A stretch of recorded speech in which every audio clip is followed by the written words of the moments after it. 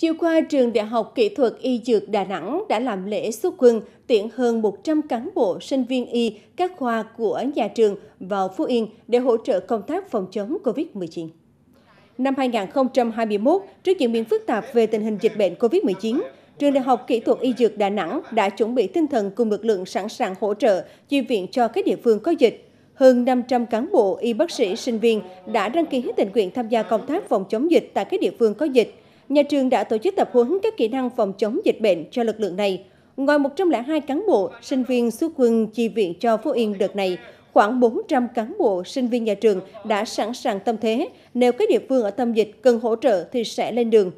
Trước đó, năm 2020, khi COVID-19 bùng phát tại Đà Nẵng, đã có hơn 400 cán bộ, y bác sĩ, sinh viên của trường tham gia có hiệu quả vào công tác phòng chống dịch bệnh của thành phố.